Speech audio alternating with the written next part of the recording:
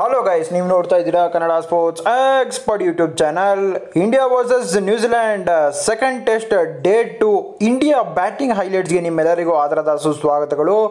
ಏನು ಮಾಡಿದ್ರು team India day to ಅಂತ ನಾನು ತಿಳಿಸ್ಕೊಡ್ತೀನಿ. ಇನ್ನೂ ಕೂಡ ನಡೀತಿದೆ. ಇದೀಗ ನ್ಯೂಜಿಲ್ಯಾಂಡ್ ಬ್ಯಾಟಿಂಗ್ ಆಡ್ತಾ ಇದ್ದಾರೆ ಟೀಮ್ ಇಂಡಿಯಾ ಆಲ್ ಔಟ್ ಆಗಿದ್ದಾರೆ. ಬೆಂಕಿಯಾಗಿ ಬ್ಯಾಟಿಂಗ್ ಆಡಿದ್ದು ಮಯಾಂಕ್ ಅಗರ್ವಾಲ್.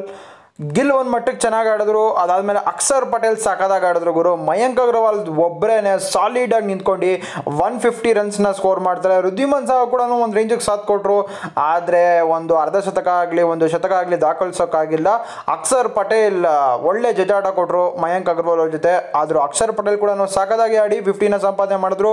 ಸಖತ್ತಾಗೆ ಬ್ಯಾಟಿಂಗ್ ಆಡಿದ್ರು ಅಂತ ಅನ್ಬೋದು. ಟೀಮ್ ಇಂಡಿಯಾ ಸ್ಕೋರ್ ಮಾಡಿದ್ದು ಎಷ್ಟು ರನ್ಸು ಫಸ್ಟ್ ಇನ್ನಿಂಗ್ಸಲ್ಲಿ ಆಲ್ ಔಟ್ ಆದರು ಫೈನಲಿ ಏನಪ್ಪ ಒಂದು ಮಿರಾಕಲ್ ಅಂದರೆ ಟೀಮ್ ಇಂಡಿಯಾ ಒಂದು ರೆಕಾರ್ಡ್ನ ಮಾಡಿದ್ದಾರೆ.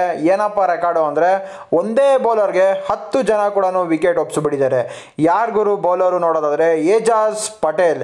ಏಜಾಸ್ ಪಟೇಲ್ ಅವರು ವಿಶ್ವ ದಾಖಲೆ ಮಾಡಿದ್ದಾರೆ. ಮೂರನೇ ಬೌಲರ್ ಇವರು ಹತ್ತು ವಿಕೆಟ್ ತೊಗೊಳಕ್ಕೆ ಒಂದೇ ಇನ್ನಿಂಗ್ಸಲ್ಲಿ ಎಲ್ಲ ಬ್ಯಾಟ್ಸ್ಮನ್ ವಿಕೆಟ್ ಇವರೇ ತೊಗೊಂಡ್ಬಿಟ್ರು ಗುರು. ಬೌಲಿಂಗಲ್ಲಿ ಏಜಾಸ್ ಪಟೇಲ್ ಹತ್ತು ವಿಕೆಟ್ ತೆಗೆದ್ರೆ ಬ್ಯಾಟಿಂಗಲ್ಲಿ ಮಯಾಂಕ್ ಅಗ್ರವಾಲ್ ಒಬ್ಬರೇ ನೂರೈವತ್ತು run India three twenty five ರನ್ಸ್ಗೆ all out ಆಗ್ತಾರೆ.